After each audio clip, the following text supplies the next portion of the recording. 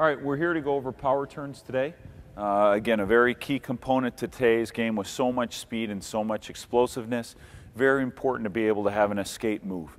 Great to be in gear so that if we can try this move, again, getting used to our MLX skates, really getting used to using our hips to control the motion and to control the speed. Remember, uh, the goal of a power turn is to come in and out of the power turn with as much speed as you can, not decelerating and then have to repick your speed all back up, causing a loss of energy and of speed. So great to be in gear, great to make sure your breezers are on, great to make sure your elbow pads and your helmet's on, so that if you go down and you take a spill, it's no big deal. Also, a great place to do this is in center ice, so you're not doing this right into the half wall or the end wall, and then you take a nice digger and uh, potentially get hurt. So we want to make sure today that, that we go out, we'll maybe do a couple crashes here, really throw your hips over, really making sure again that those hips lead the action.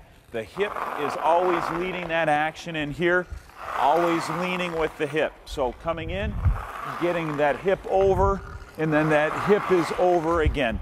So again, the first move is to really lean that hip as close as we can to the ice, okay? Trying to keep the hips basically level to the ice and really throwing that hip over to the side is gonna start your motion, okay? So very elusive, very tough to defend, okay, when you use those hips. But if you start using your foot just to turn, okay, you're gonna have difficulty turning very sharp. Much easier for the defenseman to get a guy that's going to go wider than a guy that's going to be able to come very tight. So the more you throw your hip, the more you do your warm up, the more you do your flexibility training, okay, the better chance you have to use your skates, to use your MLX skates to get out of a tight situation. Some of the wrong ways to do it, just so the viewer at home understands how to get that done. Some of the things that can go wrong in a power turn is too much lean this way. We'll call that too much tilt.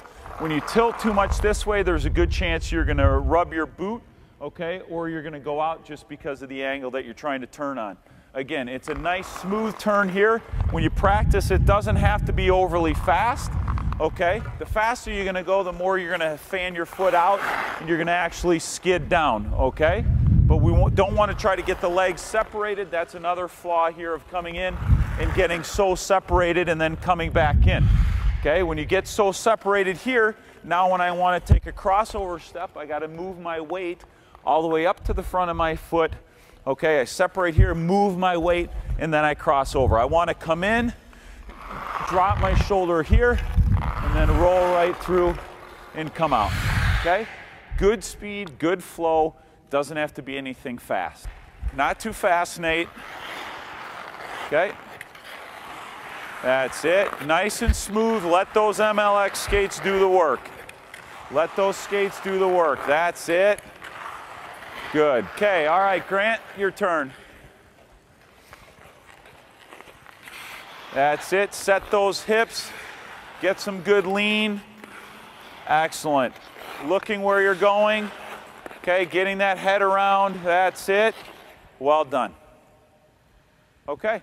That's how we do some power turns. Again, the beginning steps of how to learn how to do a, a, power turn correctly, okay, starts with being able to move that hip over the top of the skate.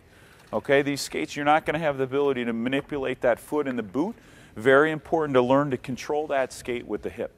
Okay, so when you use those MLX skates at home, start to learn to use those hips and start to train for skating so that you can use those hips on the ice and you can be very explosive.